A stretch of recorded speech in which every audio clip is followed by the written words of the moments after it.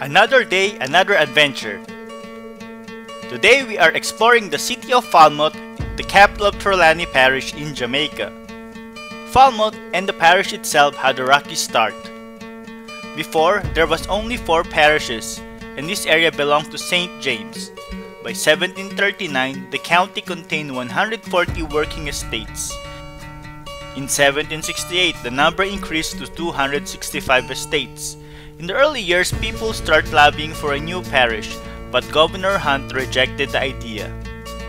As years passed by, more sugar planters moved northward to establish their own states, and another growth in the area was the booming trade with the United States. Back then, St. James was the only parish, and so planters had to deliver their produce all the way to the port of Montego Bay. The distance was long, and the poor road condition led to volumes of their produce going to waste. The long distance and inadequate roads forced the people of the eastern parish to demand for separation. The new governor, Sir William Trelawney, signed the Act of Assembly of Jamaica on December 29, 1770. In gratitude, the parishioners named the parish Trelawney after the governor. The E that is missing from the name of the parish was an error on the part of the eager parishioners that has never been corrected. The main town then was Martha Brae Village, but because of its location on high ground, small area, and narrow coastline, people decided to create a new capital closer to the port. The Trelawny Town Council established a commission with Edward Moulton Barrett as chairman. It is not known if he used his position as chair to influence the decision of the commission, but the land on which the new capital was built after 1790 curiously enough belonged to the Barrett family and was called Barrett Lands. The town was established in 1769 when Edward Barrett, the grandfather of the English poet Elizabeth Barrett Browne, sold 170 acres of the land for the establishment of the new town. Barrett kept the coastal land for himself, but donated land for a courthouse, church, and public buildings to be built.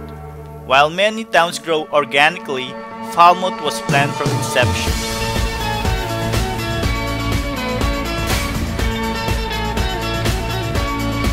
About the courthouse, it was erected in 1850. The building is a Georgian design, well proportioned, with seemingly vertical and horizontal grades crossing the building. Other unique features of this type include fanlights, shingled walls, and jalousies. The courthouse was razed by fire in 1926 but was rebuilt.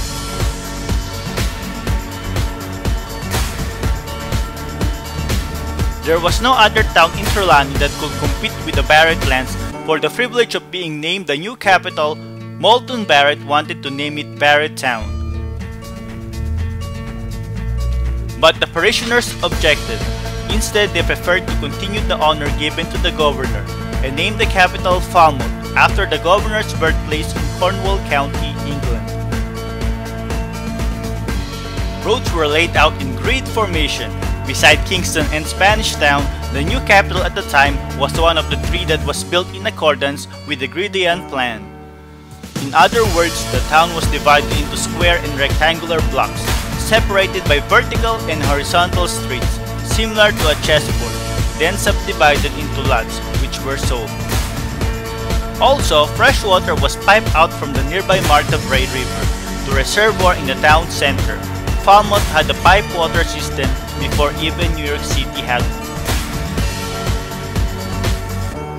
Between 1800 and 1840, Falmouth was one of Jamaica's thriving port towns. Jamaica was one of the leading sugar exporters in the world. Much Jamaica sugar was shipped from Falmouth. The wharves would handle around 30 ships a day, usually unloading slaves shipped from Africa and filling the ships back with sugar and rum bound for Europe. Many grand houses were built in Falmouth as planters kept second homes in the town. The town was also known for lively nightlife, with many ship's crews eager to spend their money while on shore.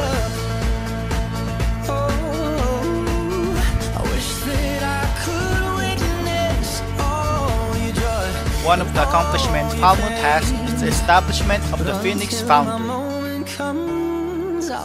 The primary function of the Phoenix Foundry was to repair shops docked at Falmouth Harbor, but it also repaired boilers, and other sugar manufacturing equipment. The establishment of the foundry showed that the commercial enterprises in the new capital spanned more than just the sugar industry.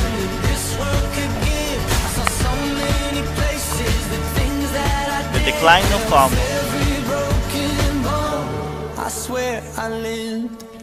When slavery was abolished, the sugar industry of Trelawny was badly affected. The 1840s also saw the rise of steamship use for transatlantic crossings.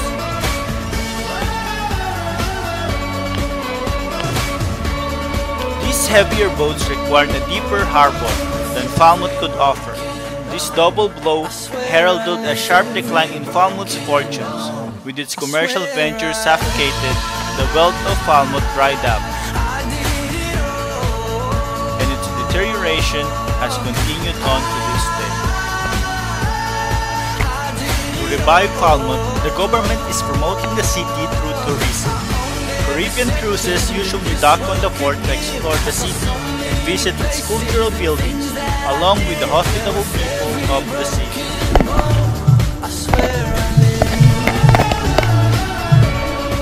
While I go and have a drink in this store, I hope you guys enjoyed the rise and fall of Falmouth.